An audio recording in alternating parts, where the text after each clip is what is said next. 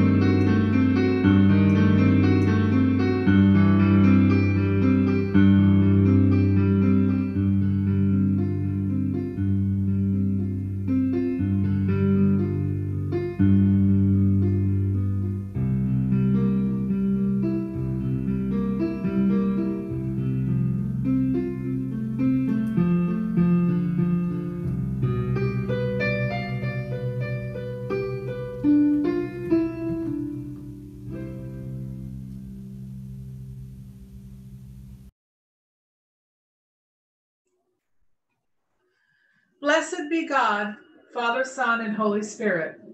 And blessed be his kingdom now and forever. Amen. Almighty God, to you all hearts are open, all desires known, and from you no secrets are hid. Cleanse the thoughts of our hearts by the inspiration of your Holy Spirit, that we may perfectly love you and worthily magnify your holy name. Through Christ our Lord. Amen.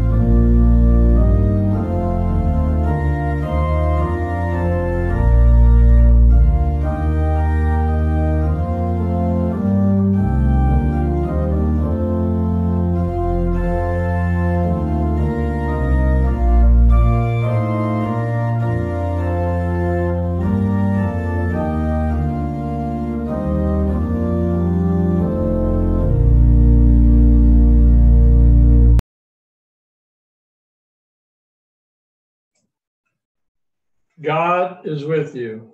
And also with you. Let us pray. Blessed Lord, who caused all holy scriptures to be written for our learning, grant us so to hear them, read, mark, learn, and inwardly digest them, that we may embrace and ever hold fast the blessed hope of everlasting life, which you have given us in our Savior Jesus Christ, who lives and reigns with you in the Holy Spirit, one God forever and ever. Amen.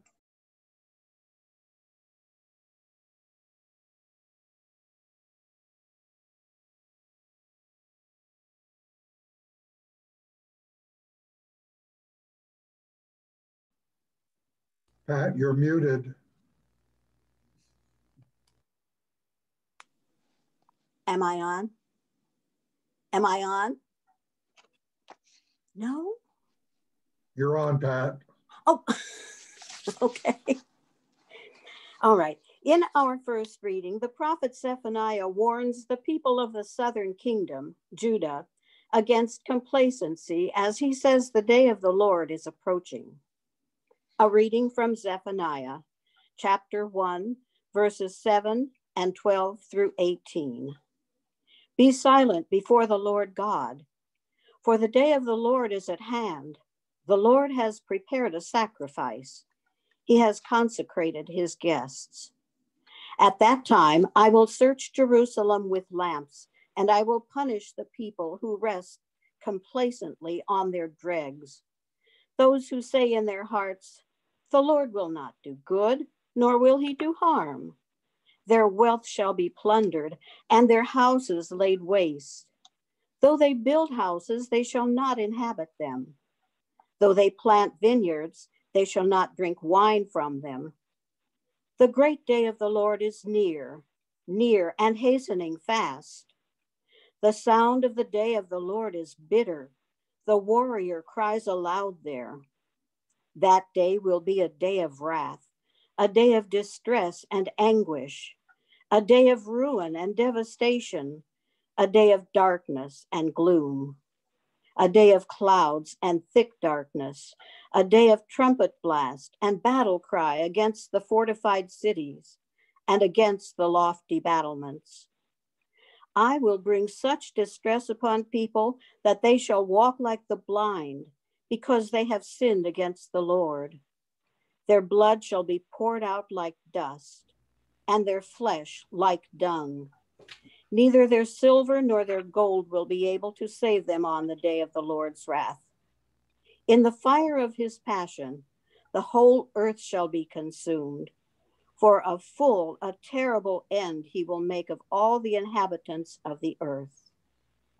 Hear what the Holy Spirit is saying to God's people. Thanks be to God. Psalm 90, verses 1 through 12. Lord, you have been our refuge from one generation to another. Before the mountains were brought forth, or the land and the earth were born, from age to age you are God.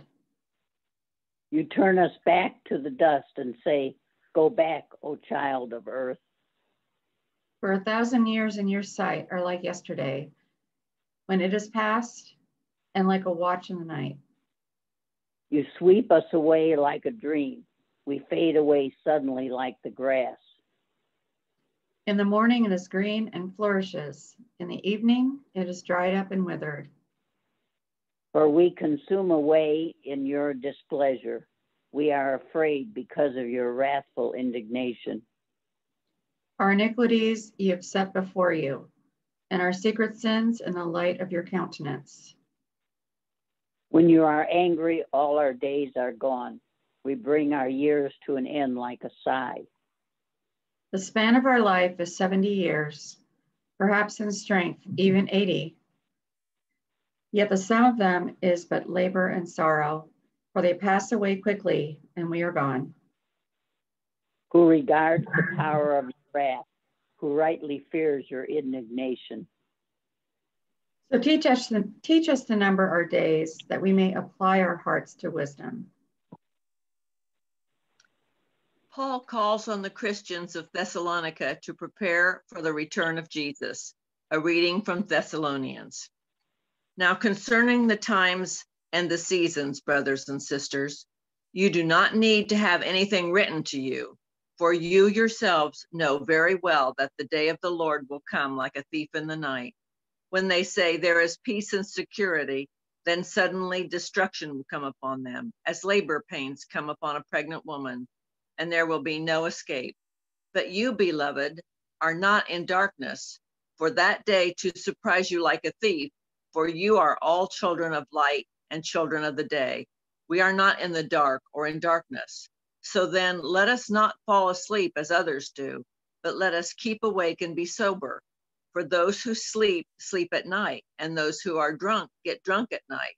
But since we belong to the day, let us be sober and put on the breastplate of faith and love, and for a helmet of hope and salvation. For God has destined us not for wrath, but, for obtaining salvation through our Lord Jesus Christ, who died for us, so that whether we are awake or asleep, we may live with him. Therefore, encourage one another and build each other up, for indeed you are doing. Hear what the Holy Spirit is saying to God's people. Thanks be to God. The Gospel of Lord Jesus Christ according to St. Matthew. Glory to you, Lord Christ. Jesus said, The kingdom of heaven will be as when a man, going on a journey, summoned his slaves and entrusted his property to them. To one he gave five talents, to another two, to another one, to each according to his ability. Then he went away. The one who had received the five talents went off at once and traded with them and made five more talents. In the same way, the one who had the two talents made two more talents. But the one who had received the one talent went and dug a hole in the ground and hid his master's money. After a long time, the master of those slaves came and settled accounts with them. Then the one who had received five talents came forward, bringing five more talents, saying, Master, you handed me five talents. See, I have made five more talents. His master said to him, Well done, you good and trustworthy slave.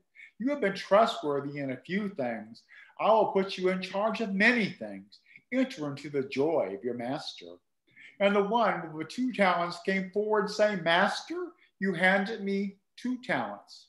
See, I have made two more talents. His master said to him, Well done, good and trustworthy slave. You have been trustworthy in a few things. I will put you in charge of many things. Enter into the joy of your master.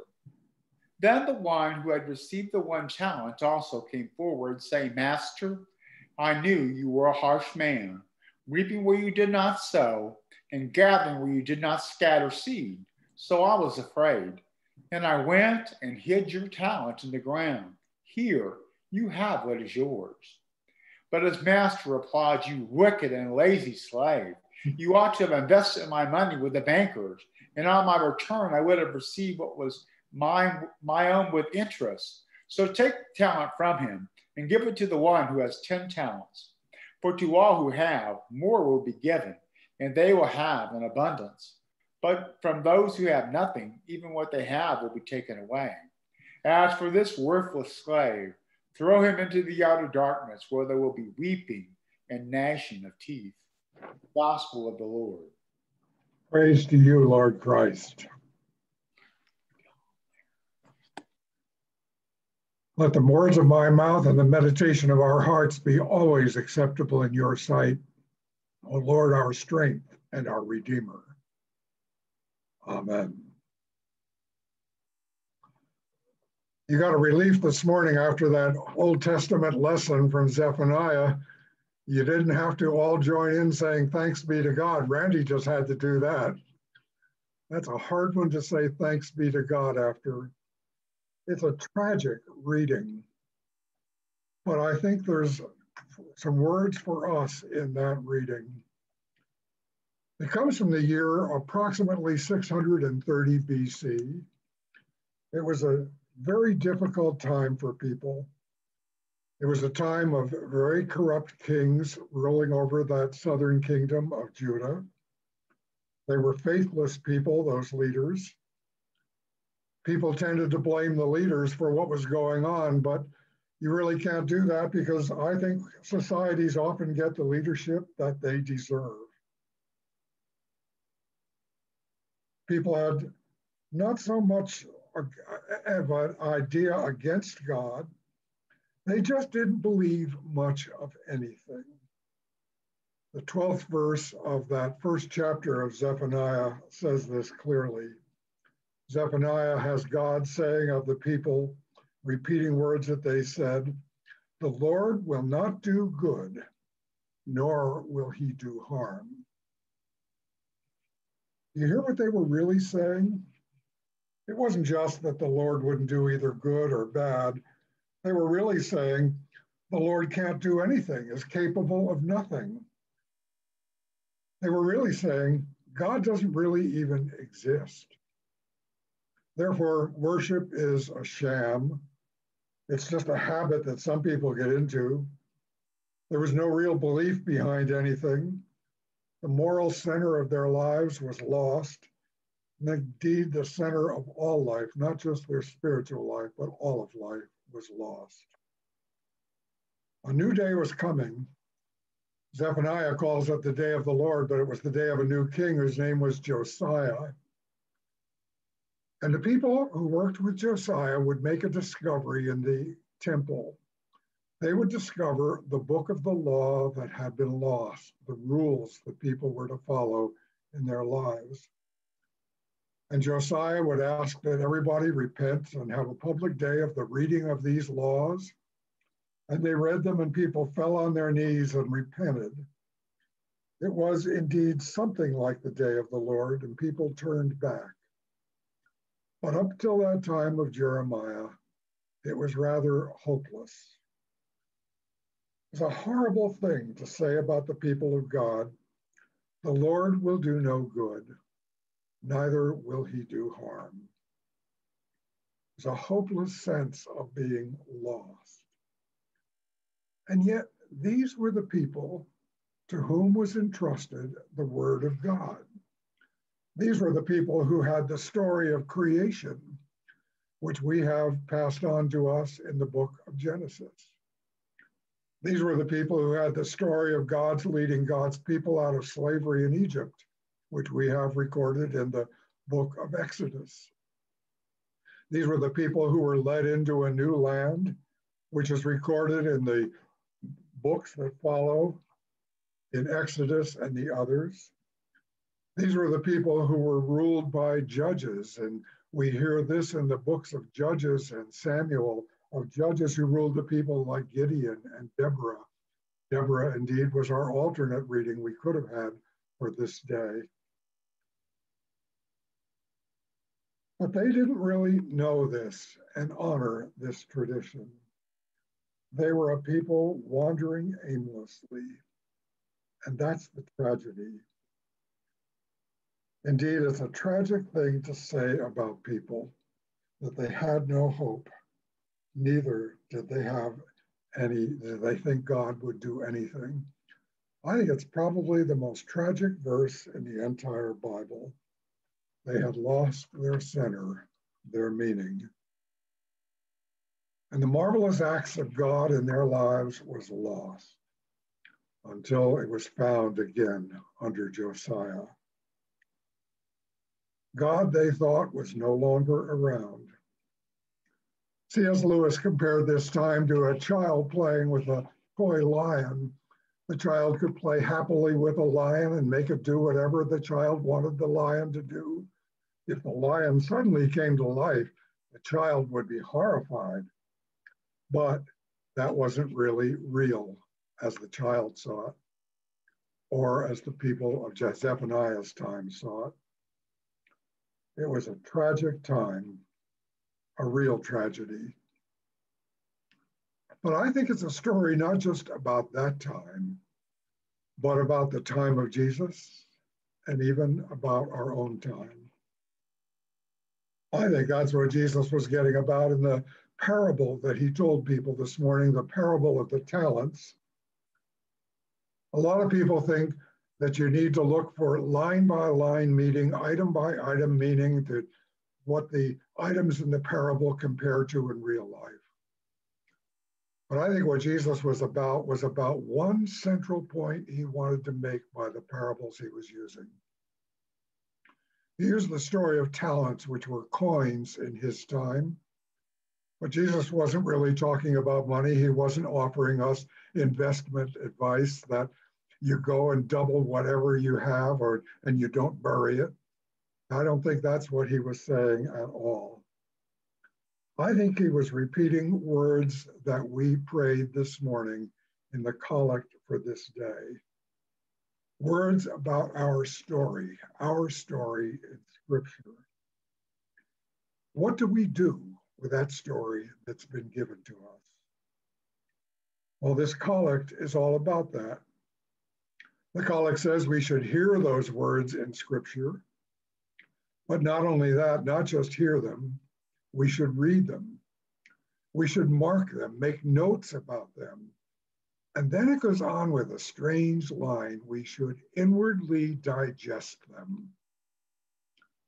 I said in the meditation this morning that we eat food and drink water or other fluids in order to sustain our lives, our physical lives. This inwardly digestion of Scripture is asking us to inwardly digest these words so that they may feed our spiritual life, just as food and beverage feeds our physical life. And I think that's the point that Jesus was making. And then there was one of those big so that's in that collect. So that we may embrace and ever hold fast the blessed hope of everlasting life, which you have given us in our Savior, Jesus Christ. In other words, that we may have hope, that our lives may have meaning, that we don't go around hopeless like those people in Zephaniah's time, but rather find the meaning and purpose and center of our lives.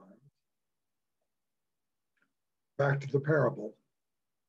I think Jesus was saying that those who received the five talents and those who received the two talents went on and dealt wisely with them.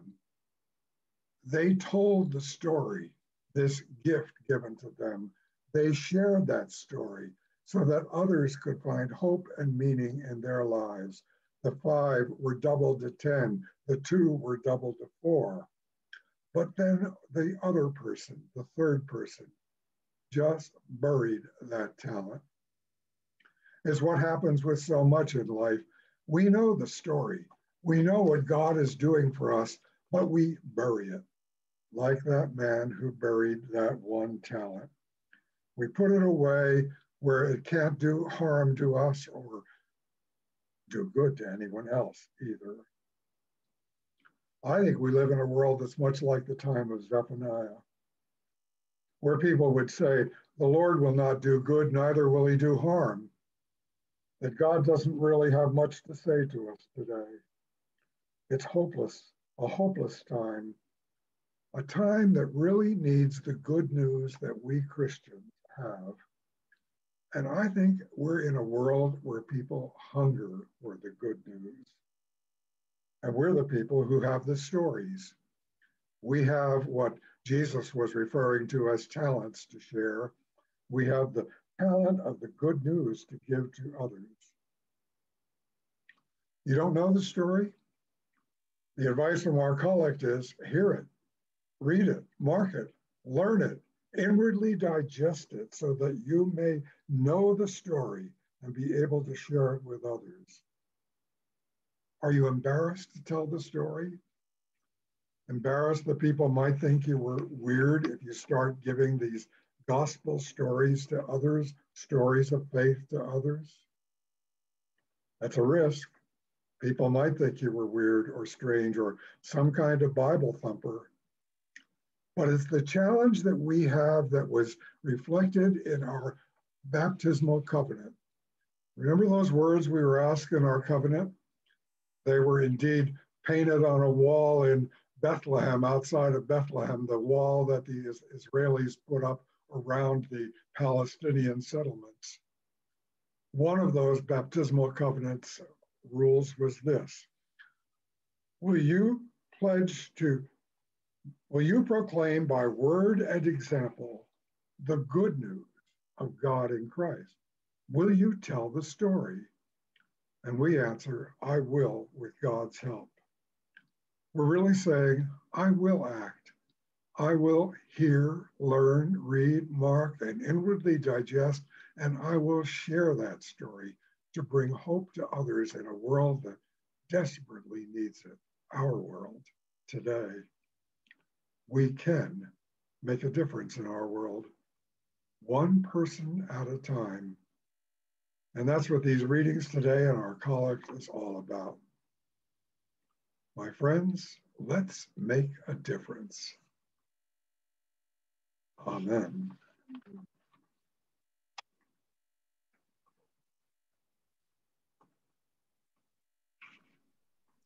The Nicene Creed. We believe in one God, the Father, the Almighty, maker of heaven and earth, of all that is seen and unseen.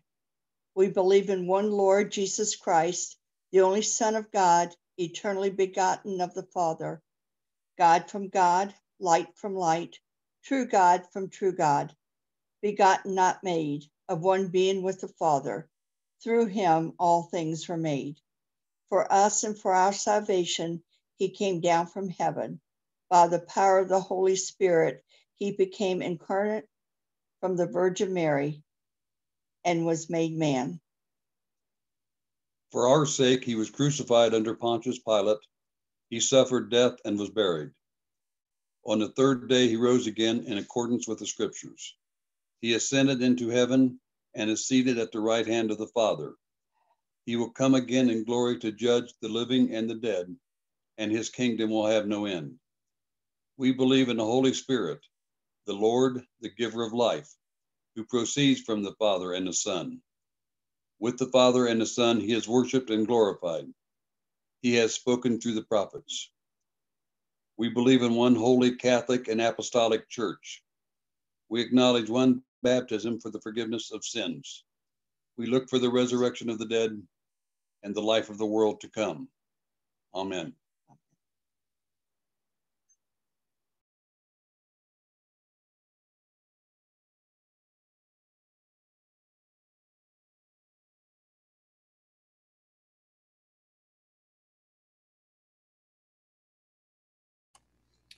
Jan, we're not hearing audio from your end, but you don't look muted.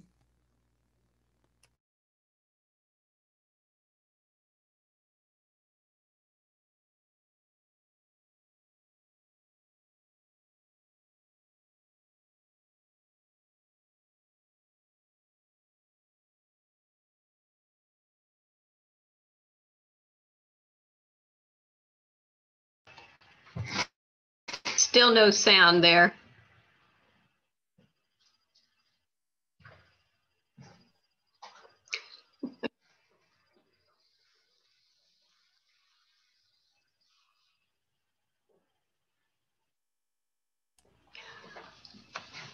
Debbie, I can go ahead and take this on.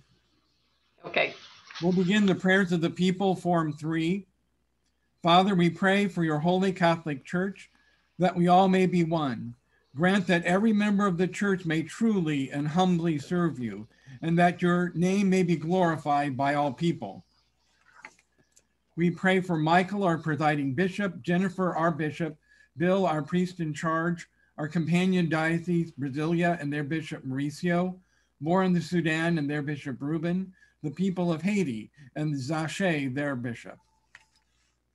In our in our Anglican cycle of prayer, we pray for the Church of Ceylon, extra provincial of the Archbishop of Canterbury, the Right, right Reverend Dejlori Ranjit Canagasabey, Bishop of Cambo, Colombo, and the Right Reverend Keerthisiri Fernando, Bishop of Kurunegala.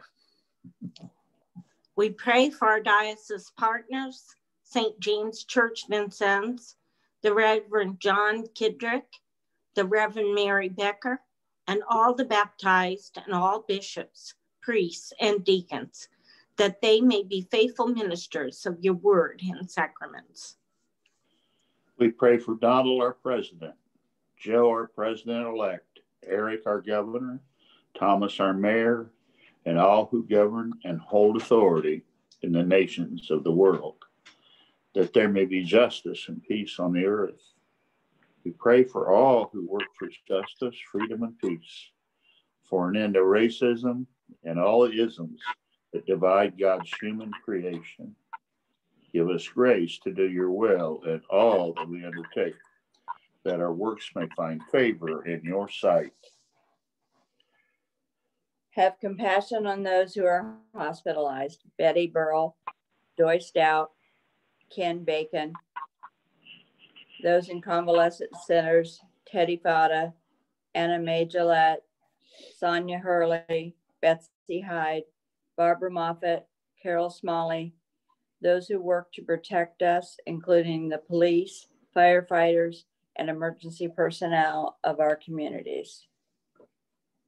We pray for our men and women and the armed forces, Audrey McMillan Cole, Chastain Gardner, Jessica Holliday, Brandon Hallowell, Greg Chas Hewlett, Micah Jones, Chris Call, Brian Casper, Amanda Conover McAllister, Tyler McKeon, Melissa Payne, Nathan Payne, Travis Reed, Allison Woodruff, and Zach Webb. We pray for we pray for those who are homeless, unemployed, or underemployed, for all who suffer from COVID 19, and for the caregivers who look after them, those who suffer from the wildfires in the West, those who suffer from any grief or trouble, that they may be delivered from their distress. We pray for our parish family, especially for Ross Buckman, whose birthday is today, for Jan Foster, whose birthday is tomorrow, and for Elizabeth Wepler, whose birthday is Wednesday. In our daily prayers for the members of our, our parish, we pray today for Hannah McGilvery and her children, Zach and Linda, for Susan McGill,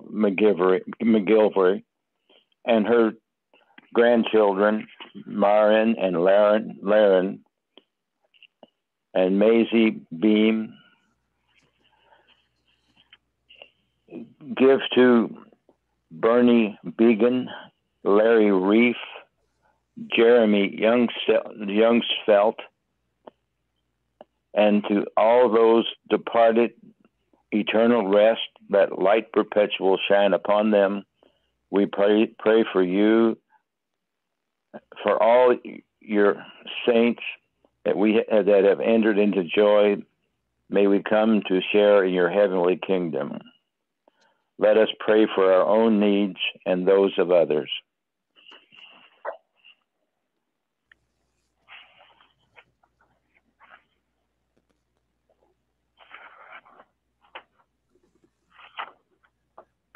O Lord our God, accept the fervent prayers of your people. In the multitude of your mercies, look with compassion upon us and all who turn to you for help. For you are gracious, O lover of souls, and to you we give glory, Father, Son, and Holy Spirit, now and forever. Amen. Let us confess our sins against God and our neighbor. Most merciful God, we confess that we have sinned against you in thought, word, and deed, by what we have done and by what we have left undone. We have not loved you with our whole heart. We have not loved our neighbors as ourselves. We are truly sorry and we humbly repent. For the sake of your Son, Jesus Christ, have mercy on us and forgive us, that we may delight in your will and walk in your ways, to the glory of your name. Amen.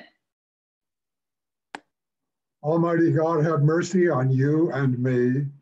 Forgive you all your sins through our Lord Jesus Christ. Strengthen you in all goodness. And by the power of the Holy Spirit, keep you in eternal life. Amen.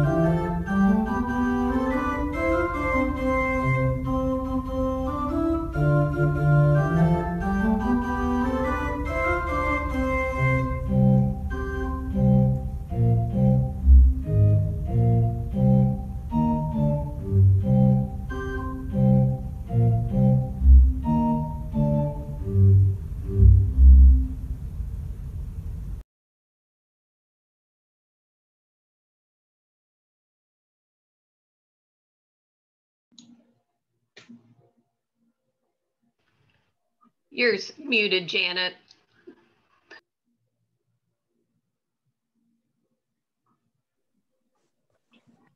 Oh, now am I okay, Debbie? Okay. God is with you. Let us pray. In union, blessed Jesus, with the faithful gathered at every altar of your church, where your blessed body and blood are offered this day, I long to offer you praise and thanksgiving for creation and all the blessings of this life, for the redemption won for us by your life, death, and resurrection, for the means of grace and the hope of glory. I believe that you are truly present in the Holy Sacrament, and since I cannot at this time receive communion, I pray you to come into my heart. I unite myself with you and embrace you with all of my heart, my soul, and my mind. Let nothing separate me from you. Let me serve you in this life until, by your grace, I come to your glorious kingdom and unending peace. Amen. Let us pray as our Savior has taught us. Our, our Father, who art in heaven, heaven hallowed be thy name. Thy kingdom come, thy will be done, on earth as it is in heaven. Give us this day our daily bread, and forgive us our trespasses, as we forgive those who trespass against us. Lead us not into temptation, but deliver us from evil. For thine is the kingdom, the power, and the glory, forever and ever. Amen.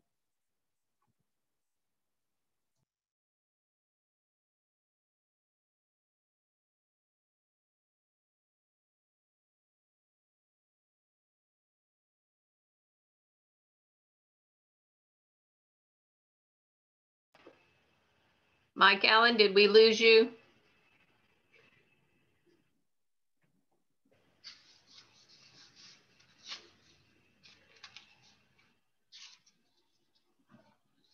Lord of the feast, we thank you for gathering us as your people. We call to remembrance the many times we have been fed at your table, and we lament our distance now. Be present, Lord Jesus, as you were present with your disciples. Be known to us in the breaking of the bread. And may your Holy Spirit sustain us and all your church until we can gather again, together again. We ask this for the sake of your love. Amen. The blessing, mercy, and grace of God Almighty, Father, Son, and Holy Spirit be upon you and remain with you always. Amen.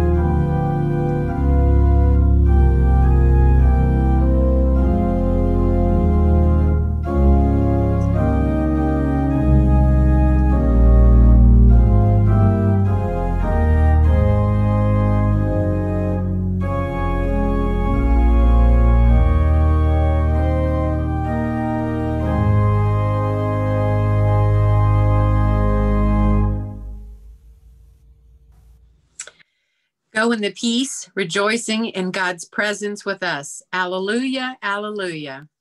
Thanks be to God. Alleluia, alleluia.